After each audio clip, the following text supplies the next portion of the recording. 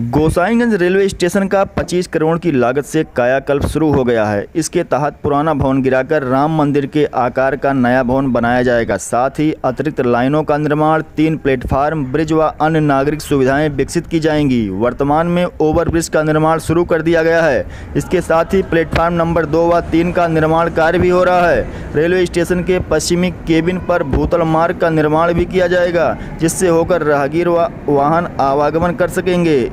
इस railway station को विकसित करने के लिए कई कंस्ट्रक्शन कंपनियाँ कार्य कर रही हैं। सभी कंस्ट्रक्शन कंपनियों का कार्य अलग अलग है। योजना के तहत मुसाफिर खाने के पास रेलवे स्टेशन के नए भवन का निर्माण कराया जाएगा। साथ ही टिकट घर व विश्राम स्थल व अन्य भवन निर्मित किए जाएँगे। रेलवे लाइन का विद्युतीकरण भी शुरू हो गया है। प्रथम चरण में प्लेटफार्म नंबर एक से तीन तक ओवरब्रिज का निर्माण शुरू हो गया है। इस रेलवे स्टेशन पर अभी तक दो ही प्लेटफार्म थे। अब तीसरे प्लेटफार्म का निर्माण कराया जा रहा है। इसके साथ ही दो लाइनें भी बढ़ाई जा रही हैं।